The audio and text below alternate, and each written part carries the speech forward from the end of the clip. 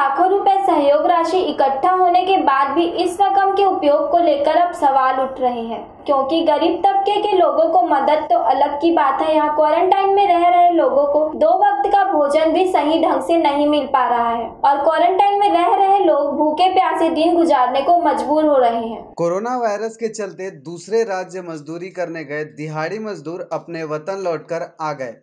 कोई पैदल तो कोई अपनी व्यवस्था से। जिला प्रशासन ने इन मजदूरों को गाँव व शहर के स्कूलों में ठहराया है।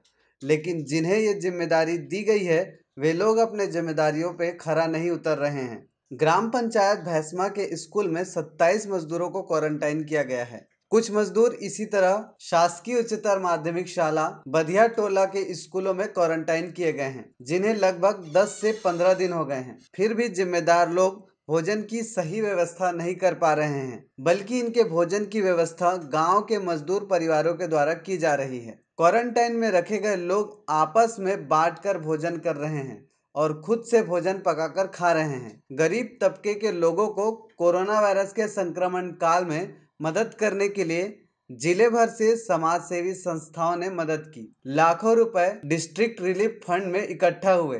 इसके बावजूद लोगों को मदद नहीं मिल पा रही है। पंचायत भवन में भी कुछ मजदूर क्वारंटाइन में रह रहे हैं, लेकिन उन्हें खाने पीने को लेकर अव्यवस्थाओं का सामना करना पड़ रहा है। क्वारंटाइन में रह रहे युवकों ने नगर के समाज सेवियों से संपर्क कर भोजन की व्यवस्था की है। ऐसे में सवाल उठ रहा है, पूर्व तैयारियों का दावा करने वाला जिला प्रशासन क्या कर रहा है? केवल बड़ी बड़ी बातें करके राहत शिविरों में लोगों को निरंतर भोजन कराने की बात अलग अलग समाचार पत्रों और मीडिया में प्रकाशन कर केवल वाहवाही लूट रहा है, जबकि सच इससे कोसों दूर है। सही महीने में जिला प्रशासन में बैठे अधिकारी क्वारंटाइन में रह रहे लोगों तक पहुँच ही नहीं पा रहे हैं। मीडिया ने जब मजदूरों से बात की तो उन्होंने बताया कि सूखा चावल पाँच किलो दिया जा रहा है और कुछ नहीं बाकी व्यवस्था हम स्वयं कर रहे हैं। डीएनएक्स टीवी के लिए डोंगरगढ़ से सोमेश्वर सिन्हा की रिपोर्ट। हम लोग को यहाँ से नहीं मिलता। चावल चावल हम लोग कल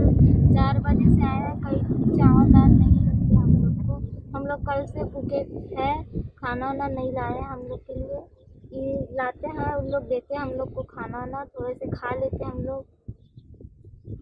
कितने लोग हैं यहाँ पर क्वारंटाइन में?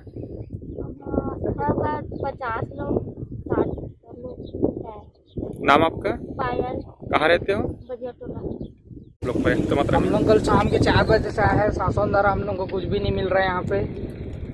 राशन वासन कुछ भी नहीं मिला है घर से खाना वाना आता है तो खा लेते थोड़ा बहुत सब एडजस्ट करके एक दूसरे को देखे कहाँ से आए हो आप? हम लोग हैदराबाद से आए हैं। पंचायत के द्वारा कोई खाना वाना नहीं है सिर्फ़ पाँच किलो चावल मिला है। और क्या बोलते पंचायत वाले?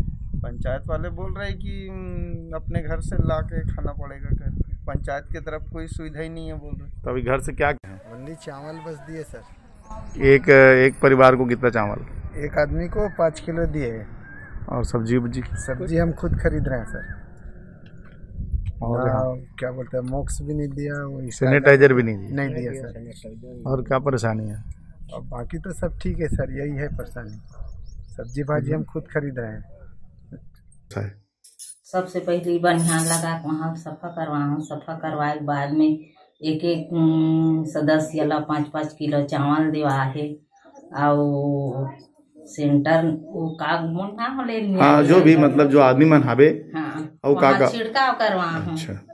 और समय समय में आते जाते रहते हाँ रोज रोज आना जाना होता है तो सब्ज़ी वगैरह दे होगा सब्ज़ी और झींगे दे हैं सर। बस चावल? हाँ।